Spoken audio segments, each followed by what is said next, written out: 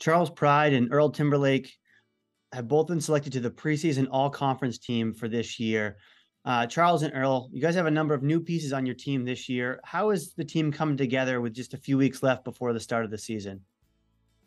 Um, I would say the team's coming together pretty well.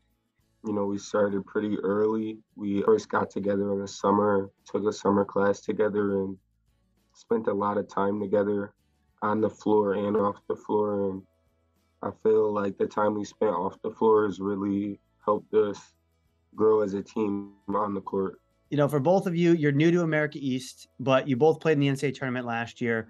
Um, what does this team have to do to be successful on the court this season? I'll say just be consistent and uh, stick to what coach uh, preaches to us every day. Earl pretty much hit it on the head, but uh, to really bite into what Coach Grasso is telling us to do and stuff like that, he's a great coach. So it's just up to us to execute and uh, make things happen on the floor. You know, with that, what's what's his message to you about what you guys need to do?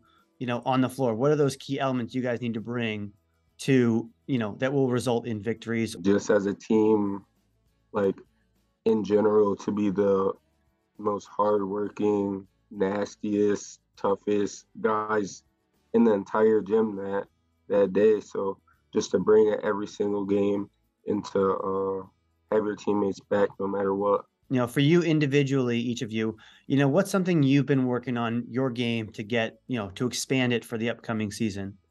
Um, I would say pretty much my overall game. Um, would definitely been at Bryant. I got in better shape. Um, I lost weight. Um, I feel like I'm in peak condition, stuff like that. But definitely that.